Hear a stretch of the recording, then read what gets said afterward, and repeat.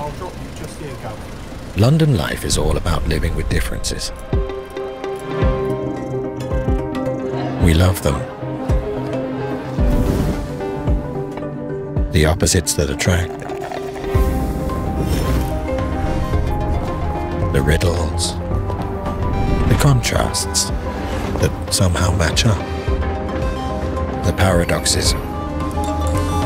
The exceptional and the contradictory all going their own sweet way together. Our differences connect us. They're part of who we are. They make London what it is. You can feel it in the air.